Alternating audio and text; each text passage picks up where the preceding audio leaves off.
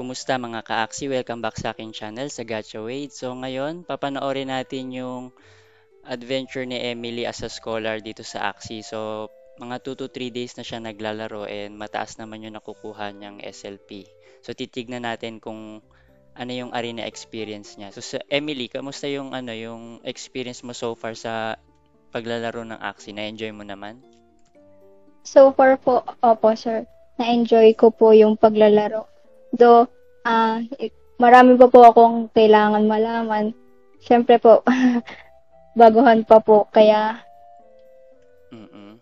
as far, ah, as time goes by, matututunan ko rin po. Di ba po? Mm-mm. Pero na-achieve mo na yung ano eh, nakikita ko yung 100 plus SLP a day. On the first day pa lang na-achieve mo na eh. So, Opo, oo, ayos. So, click mo nga yung adventure dyan. Tignan natin kung nasang map ka na. In 3 days. Maglalo.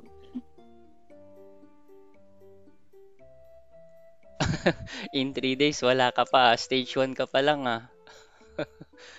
Ano yan? Hindi ko po siya inaano, sir. Ayun. Ayun, ala. Parang ang layo. Ano yan? Opo, sir. Hanggang dyan ka na? Opo, nung binigay niyo po, sir. Ah, okay. Ah, oo, kasi ano, dating dating ginamit na ng scholar tong account na to at iba yung Axie dito, kaya hanggang dyan na yung stage. So, so far, hanggang saan ka nagpa-farm ng SLP? Sa 5 lang po kasi mababa pa lang po yung level Mm, ko. Level 6, no? So, sa Opo. Ruins 5, click mo yung Ruins 5. Yan, dyan sa Opo. Ruins 5 na yan, 2 SLP per win kasi dyan. So, mga ilang oras ka naglalaro para ma-finish mo yung 50 SLP a day dyan sa adventure? Mga 1 hour lang po, sir. Ganun. 1 Ah. hour lang po. So, yun mga ka-Axie, 1 hour lang pala yung ano, yung i-google nyo sa adventure, makaka 50 SLP na kayo. So, tignan naman natin dun sa quest mo. Click mo nga yung ano, yung quest. Oh, finish mo na rin yung quest. Opo. So far dyan sa quest mo, yung win 5 arena matches, kamusta yung experience mo dyan? Madalas bang madali namang ma-checkan dyan? Opo, sir. Sa first mga 2 or 3 games ko, laging panalo po eh. Tapos, nag-ano-ano na po doon. Tsambahan na. Oo, ayos. Click mo yung mga axis mo. Axis. Okay, dyan sa tatlong axis mo, sino yung favorite axis mo dyan? Ang favorite access ko po, siguro, etong si Bird. Ah, sige, view mo yung details niya. Bakit favorite mo yan? Kasi po, ano, lalo na pag ah naswertehan sa pag ano ng card, bigay ng card, pwede mo siyang mababackdoor, tapos ah mapapatay mo na lahat nun. All in. Mm Oo, mabilis kasi yung bird. So, before Parang- ba, ano yan? Parang po siya yung, kung nga sa ML, parang siya yung ah, marksman po eh. Kaso, ano po yung health niya. Kaya kailangan nasa dulo siya. Oo, tama. Parang marksman nga yung bird kasi mataas yung damage niya pero madali siyang mamatay glass cannon. Opo. Oh, sige. So, ano ba yung mga previous game na nilalaro mo before Axie para malaman nila yung background mo kung talagang strategist ka na maglaro ng card game or dito ka lang natuto within 3 days lang? Ah, noon po naglalaro na po ako ng COC. Tsaka konti sa ML lang po. Ayun po. Pero mas maano po ako dati sa COC po talaga. COC. Ah, yung Clash of Clan. Oo, naging hype nga din yung game na yun talaga. Tsaka Opo, ML. Opo. Ah, so sa ML ba, madalas ikaw rin yung parang carry or ano yung character na pinipili mo? Mga hero? Nung una po, marksman. Marksman po talaga yung Ah, pag marksman, Ano ikaw yung nagdadala halos nung panalo dun eh. Sige, so itry natin yung ano yung arena mo. Laro tayo ng konting arena and tignan natin. Ano bang rank mo ngayon? ano lang po yata, 1, 1, 2. Oh, ang galing ah. Kasi na-maintain mo yung ano, 1-2. One, one, naging 1-3 na po nga to, sir eh. Tapos nakakuha na po ako ng tig 9 na SLP dun sa, ano, sa dalawang laro ko po kanina. Kaso bumaba siya ngayon. Oh, sige. Naglaro po. Okay. Walang problema. Basta dyan sa 1-2, eh, 6 SLP per win naman halos dyan. So, laro tayo ng arena. Tignan natin yung ano mo, Ay po, mga struggles. click ko na po. AA. Ay, nako. AAP ata yan. Oo. O, nasa harap Parang yung plant. Ay, yung aqua.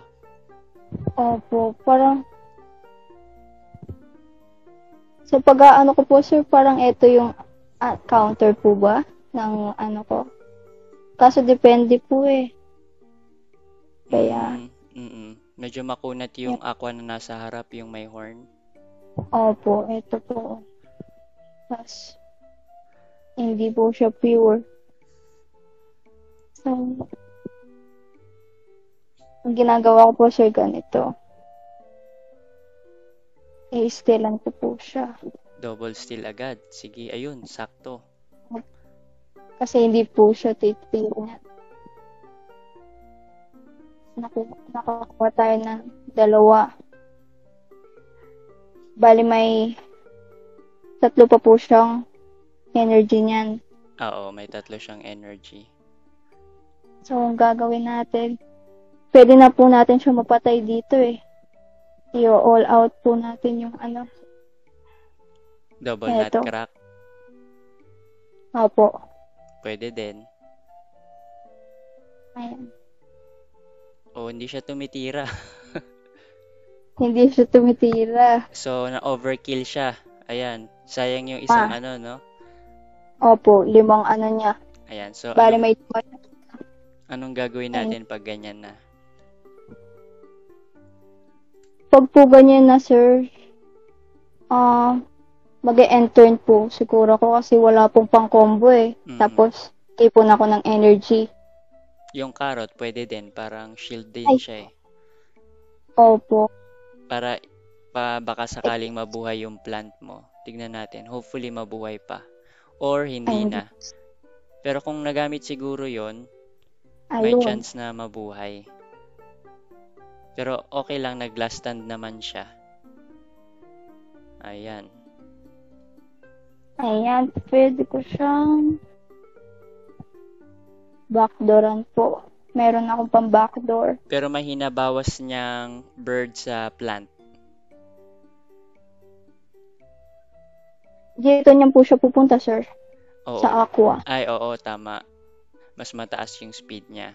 Pero kahit hindi mo Opo. nagamitin yung backdoor kasi mahina lang yung damage nun, Ay, 25. oo nga po pala. Sayang yung Tsaka energy nandito. doon. Nasa harap na siya eh. Itira mo na Nasa lahat harap yan, tapos yung aqua card pang isa sa beast. Tapos, yan, yan. Aqua card sa beast. Ay, Hindi ko po natira. Sayang. Patay na ata sana siya eh. O, may stand pa pala siya. Meron siyang... Hmm. Ayun. Medyo nagahang, ayun. Ayan, sir. Mukhang, Dito para makapatay. mukhang hindi na makakatira yung beast mo dyan ah. Ay, ay, oo, mauuna po pala yun. Para, Tapos puro i-try mo na lang kasi wala kang ibang choice kundi itira lahat ng beast card. 90 shield din 'yan. po. Pag dalawang card lang tinira niya, mabubuhay ka pa. Pero pag tatlo, deads na. Hmm, nag-all out. Taas ng shield. Hindi naman pala malalakas yung talagang damage niya. Kaso nag-heal na lang siya. Maganda sana na itira mo yung aqua card talaga eh. Kahit ngayon din.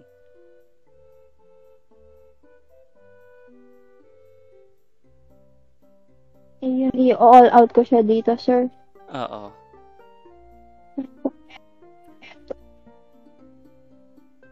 Ayun po na.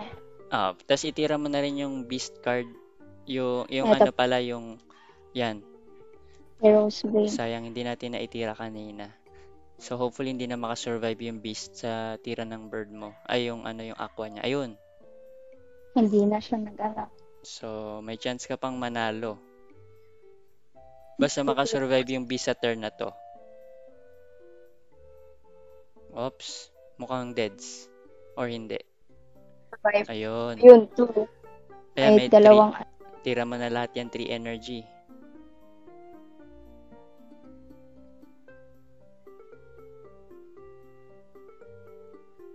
Yung post-fight. yun, nag-crit. Baka mag-heal pa siya ng ano niya eh. Eh no, patay na sana siya kung naitira mo yung post-fight.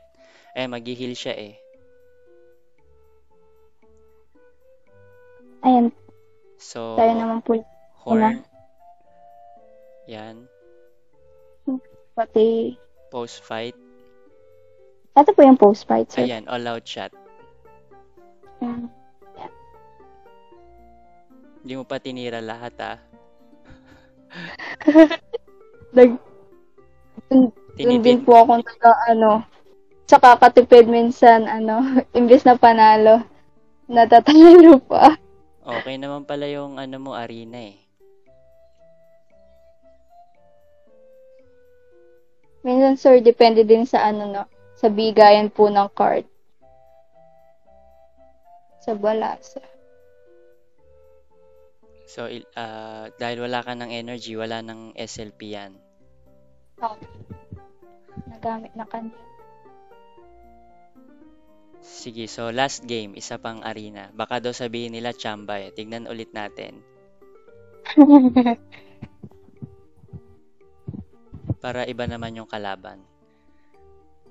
Opo. Pero malakas talaga yung naging set ng axis mo. Mabibilis. Pati yung beast mo, 44 yung speed. Kahit beast sa beast, mauna yun sa'yo. Opo. Ayan, may Mm. reptile na. Reptile. May pang-stay. Hmm, ma- may pang-stand siya. Hmm. Siguro, sir, i-end ko siya ngayon kasi wala ko. Kaya? Wala kang pang snipe. Hindi. Wala po. Wala akong ano eh. Mm-mm, end turn mo na lang. Enter. Tinira niya lahat. Mamaya wala. May dalawa. Ang mahalaga dyan, mapatay mo agad yung beast niya eh. Kaso Opo. lang, hindi ka nakadraw nung ano, nung dark swoop backdoor. Sayang sa ano. Pwede mo nang gamitin yung ano, yung tatlong cards ng beast mo. Tsaka, Tapos, siguro ano pa, baka mamatay na Eh. yung plant mo eh, sa beast niya. Opo, sa car. Ano na lang, patay mo na yung plant niya. Gamitin mo yung horn nung bird. Eto, sir. Hindi, yung sa, yung sa bird mo, yung, yung horn niya. Ah. Eto. Yan, headshot. Tapos, yan, siguro patay na yan. Kung hindi magpa-pumpkin. Ayun, patay na. Hindi siya. Hindi siya nag-pumpkin. Nag-critical pa nga. Medyo naglalag nga dito eh. Hindi ko nakita yung action. Nakita ko na lang deads na. Naglalag, sir. Hmm, nakita ko na lang deads na. Ayun, pwede natin siya dito. So, ayan, una ulit yung beast mo. Oo, una ulit yung beast mo. Tapos isang post-fight kasi mabubuhay pa yan. Opo. Ayan, Yan. oo. Mapapatay na siya dito, sir. Mm-mm. Kaso dito sa reptile niyan po, yung pag-stand niya. Madali na yung reptile kasi may plant ka pa. Opo.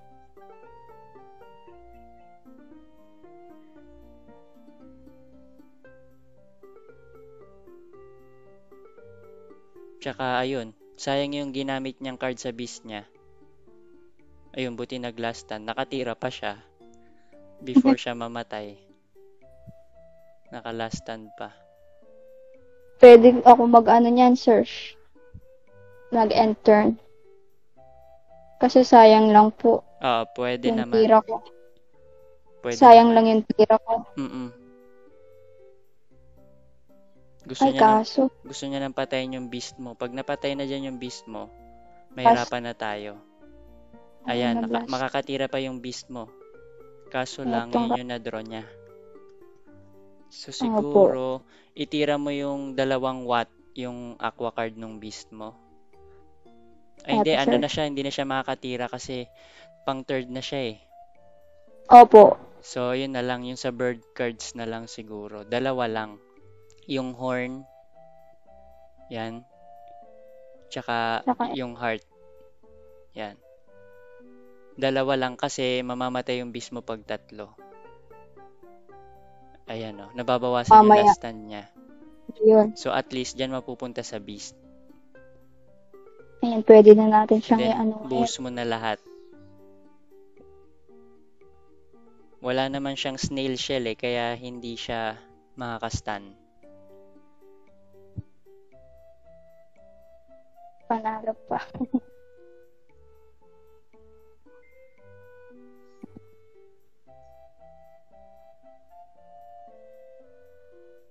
Lakas ng all-out shot ah. Opo, ang lakas po. Lalo Libre. na pag... Ayan po. So, so far, overall experience mo sa Axie. Ah, ah, overall naman? experience po, na-enjoy ko. Sobra po. Lalo na unexpected po na hindi ko po alam na sa'yo po pala ako magiging ano, scholar. Ah, Ay, nanonood lang po ako ng mga videos nyo. natsambahan mo lang din na naghahanap ako nung time na yun tapos nag-comment ka kaagad. Oo nga po, sir eh. Actually, mga 30 minutes after na po yata ng tas ang onti pa. Kaya po, sinubukan ko po. Why not, di ba po? Kaya, ayun. Akala ko nga po wala na eh. Message mo sa mga nag-expect. natin. Ah, m- ang message ko po sa mga, lalo na sa mga ah, naghahanap pa po ng mga scholar, ay na manager, wag po silang ano, panginaan ng loob at be patient po. Darating po yung time na para sa kanila. Malay mo, di ba, bukas maging scholar na din po sila. Ayun lang po. Sana all daw, sabi ng mga... Oo. Sana. Ang dami nang nag apply konti yung nag-hire kasi talaga. Lalo na madami ng naging patok po siya dito eh. Sige, Emily, salamat sa time mo and salamat mga ka-Axie sa panonood ng video. Huwag niyong kalimutang mag-subscribe for more Axie videos. And siguro makikita niyo ulit si Emily sa mga susunod na week kung makakaakit siya ng ah, mas mataas na MMR. So, salamat sa panonood and see you. Bye-bye. Thank you po, sir. Okay.